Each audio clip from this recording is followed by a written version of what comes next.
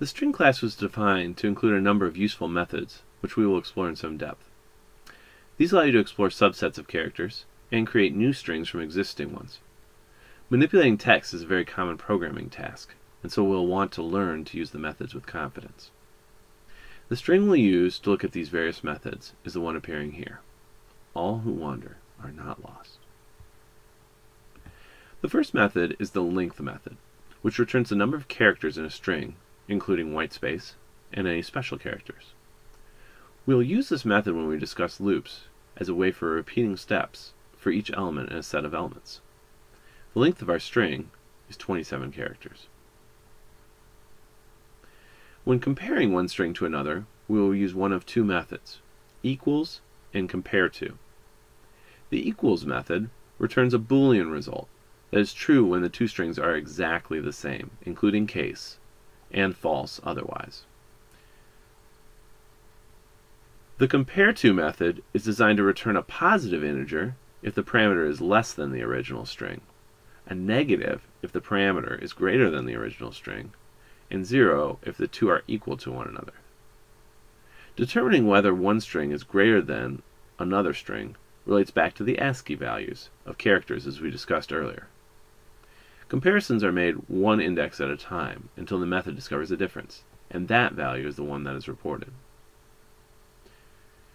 Comparing the text you see as the parameter, are you lost, to the original string, all who wander are not lost, it would first try to compare the capital A's. Since those two letters are the same, it moves to the second character that you see, the L in one case and the R in the other.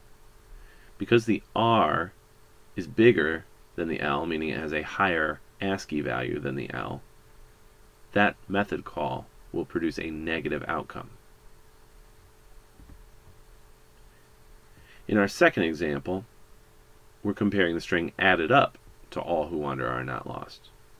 Once again, it would skip the original A, and in this case it would compare the lowercase d to the lowercase l. Because the lowercase l now comes later and it thus has a higher ASCII value than the d, it will produce a positive result. You should experiment with this method until you feel that you have a good grasp of what outcomes you can get from it. Before we talk of any further methods, let's remind ourselves that a string is a set of characters where each individual character can be referenced by an index. These indices start at 0 and will run up to the length of the string minus 1. In our string, the character capital A is at index 0.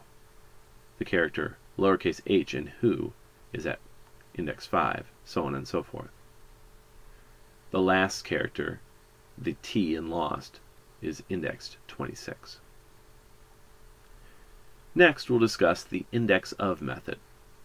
We provide a string to this method as an argument. And the method will search our string, our original string, in order to find the first time this, these characters appear within it. For example, we can search in our string for the word who, and the index of method will return 4 because the W in who has the index 4 in our string. As another example, if we simply search for the string consisting of the letter N, the method will return 10.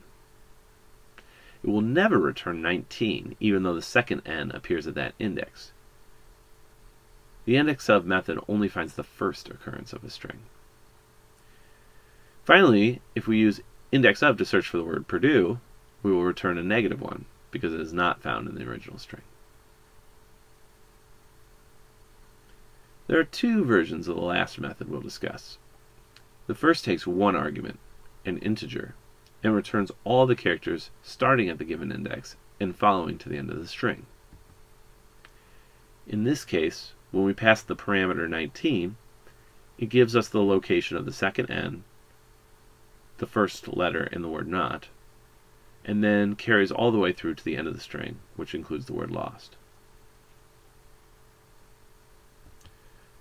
The second version has two integers as inputs and returns the set of characters from the first index to the second, not including the endpoint. In this example, we start at character 4, which is the W in who. Character 5 is the H, character 6 is the O, and character 7 is the white space. It will not include that white space at character 7, even though 7 is the number that we passed to the method.